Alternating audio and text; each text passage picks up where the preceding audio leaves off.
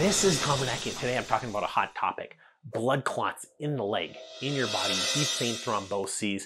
Are these going up? Do statistics show that they're higher than ever? We're gonna talk about that look at the data, and we're starting now.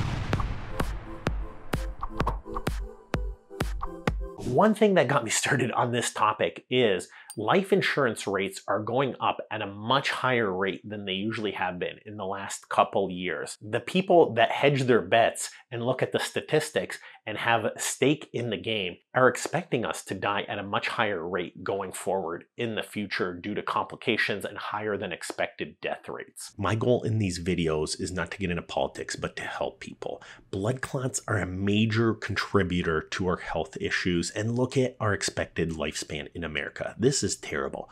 We've got to do better as a country and around the world. I have a dream that these videos can help more and more people. So that's the sole intent of this video. So hit up the likes, hit up the comments, and help these videos get more reach. So blood clots are said to be one of these things. Blood clots are clumps that form when blood hardens from a liquid to a solid. They can occur in the arteries or the veins and lead to serious conditions like stroke, heart attacks, and pulmonary embolism, which could be one of the worst things. Blood clots in the lungs are called a pulmonary embolisms. Me, as a foot doctor, I see this a lot. People come in with a red, hot, swollen calf muscle, and this is something called a deep vein thrombosis. There's two ways to think about blockages. You have your arteries, which bring your blood flow from your heart to your toes, and then you have veins, which bring your blood flow from your toes up to your heart. Essentially, arteriosclerosis, atherosclerosis, calcium buildup happens in your arteries, which are the big, thick, rubbery hoses that bring blood flow down to your toes. But veins are a little bit thinner and they carry slower, less pressurized blood up to the heart. In your veins, you can get blood clots that can plug, that can go up, in your arteries, it's more thickening of the vessels, fat, atherosclerosis buildup that limits the blood flow from getting down. That's how I like to think about it, although you could have a clot in the artery as well, for sure. A deep vein thrombosis is a blood clot that develops in your veins on the way back up to the heart. And this would cause swelling, pain, redness, warmth, in the leg. And this usually happens some type of inflammation or irritation in the cells lining the vein and your blood clot attacks it and builds up and the clot gets bigger. The dangerous part is if that clot breaks away from the lining and shoots up to your lungs when the vessels start to get small again, it can plug those vessels and stop your lungs from getting blood flow. A stroke, on the other hand, is if it plugs your brain. In your brain, if you develop a blood clot that can plug the hole, it cuts off your brain from receiving blood supply. This can cause sudden numbness in the face, arms, leg on one side confusion, trouble speaking, understanding speech, or vision problems.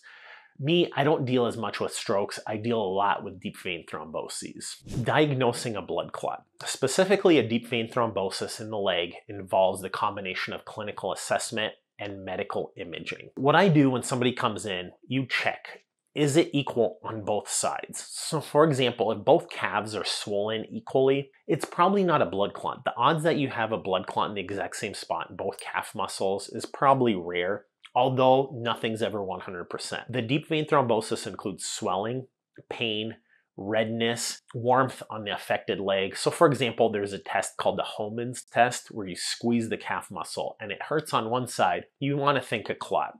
If it doesn't hurt on the other side, probably not a clot. But at the same time, you could have strained that muscle. You could have pulled something. It's not always this easy, but usually it is for me. When somebody comes in after an injury, a surgery with high risk factors, one leg is much more swollen than the other. And what happens is you can bend that foot up and as that moves that calf, it's painful. I mean, really painful. You could squeeze that calf.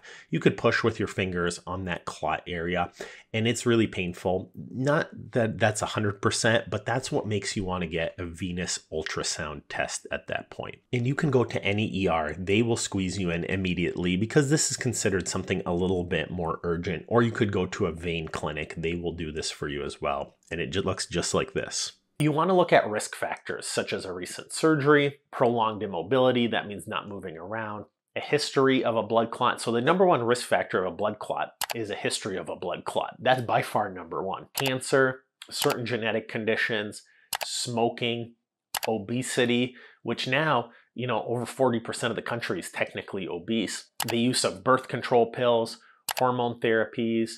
So you want to look at these risk factors. That is usually a pretty accurate way. I'll tell you, with people coming in, half of the time it's still not a blood clot. Could have been a strain, could have been an injury, could just be a sore calf from overuse, but it could be a blood clot. The way you confirm that is through an ultrasound.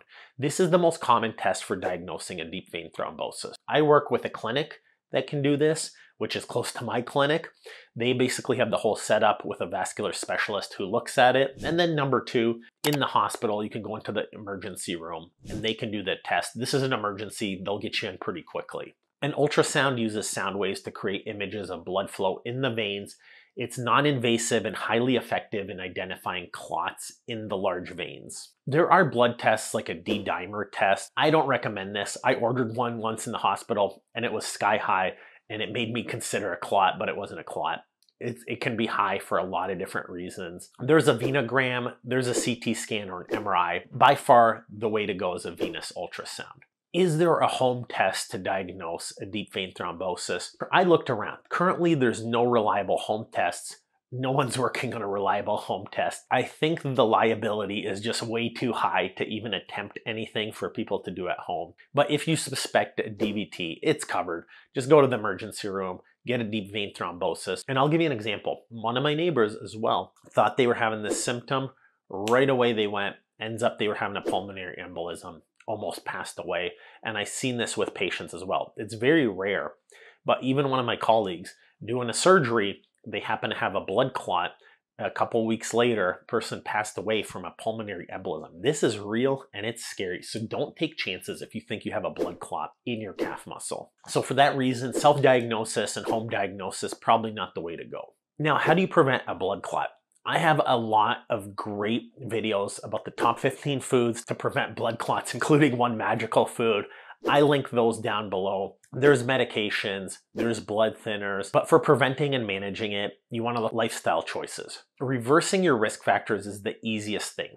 Regular exercise, number one, especially strength training. Then number two is cardio. Even just 15 minutes, three times a week is huge. Maintaining a healthy weight, so not being obese, that is massive. Not smoking, also very important, and reducing alcohol intake. If you do those, your risk factors essentially go to like one tenth of what they are. Now there's medications as well. So a daily baby aspirin or a 325 milligram aspirin is possible. Some doctors recommend that. But the reality is, looking at these statistics for deep vein thrombosis, on a daily aspirin, it reduces your risk maybe by 50%. So it's not like a guarantee that it's going to stop your blood clot. It's hard to have specific numbers on these two. It definitely does reduce the risk, but it's not like it guarantees that you won't have a blood clot. Reducing your risk factors is probably the better way to go, but you can also put this as another layer of help. Compression stockings. I have a lot of great videos about the best compression stocking tips, how to put them on, how to use them, assistive devices, which ones you should start off with, how to get them covered. I link that below. But yes, studies show, especially if you don't move, if you sit on the couch, if you're on a long plane ride, a compression stocking can work extremely well. Hydration. Adequate fluid intake is important, especially during long travel regular medical checkups. So if you have health conditions like hypertension, diabetes, heart diseases, especially like atrial fibrillation, huge risk factors for the development of a blood clot. Now the question is, I promised we'd look at that. Is the risk of blood clots rising? Nobody really wants to talk about this. And I think on YouTube, I'm not allowed to get into the details either. Um, you know, that's the state of science in today's world going into 2024 here. But the reality is, COVID 19, everything associated with it, the COVID 19 virus dramatically raises the blood clotting risk factors. There's more rates of pulmonary embolisms, more rates of deep vein thrombosis. That's according to Johns Hopkins University. There's a serious risk of blood clots six months or later associated with COVID 19. And that's according to the British Journal of Medicine. The Johnson Johnson vaccine, for example, Yale Medicine posted an article about how it was associated with blood clots. And Singapore talked about blood vessel inflammation And in Singapore, they did a study about high rates of myocarditis, pericarditis, venous thrombosis were seen. They published that in an article. Germany also published a paper that there's a significant increase in venous thromboembolisms since about 2020. The CDC says the risk really is people with a deep vein thrombosis will experience a reoccurrence in almost 40% of cases within 10 years. So once you get one, you're at higher risk for more. It's important to consider that blood clots are influenced by a lot of things. I know it's popular to blame it on one thing now, but the reality is we're more obese than ever. We move around less than ever. There's a lot more stuff going on in society that we're exposed to. I won't get into that. While nobody talks about it directly because I don't think we can talk about it, life insurance rates are going up higher than ever. This is the truth teller. They look at us and they're like, hey, these human beings are having more health problems than ever, especially vascular problems. And this is high, at a higher rate than ever over the last couple years. So we have to hedge our bets. We're rising prices disproportionately.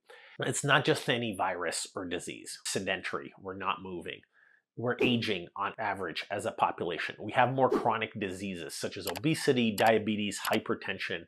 There's more hormone therapies, more birth control. There's still a lot of smoking. There's still a lot of alcohol. There's more long distance travel. Tell me if I'm missing anything. These videos sometimes have more responses than a lot of these scientific articles. So it's very important that you guys comment and let me know in the comments what's helping, what's not helping, what your experiences are. That lets me help better videos and it helps other people in the chat. It's really important, and I really appreciate you guys. Me personally, I think in order, the top five things you want to do are strength train at least a few times a week. Studies show this is the single best thing you can do for all your health problems. Number two, work on your cardiovascular health. Going for walks is the single easiest thing. I have a great video on how to start a walking program at any age. Number three, you want to make sure you're getting enough sleep. More sleep is associated with less health conditions. That's an easy one. Who doesn't want to sleep more? I have guides on that. Number four, you want a clean, healthy diet. I have videos on my top 15 foods that are heart healthy. And then number five, you want to take some supplements if you're not able to get that diet. Let me know if I missed anything and check out our 30 day course to turn around your health. That link below.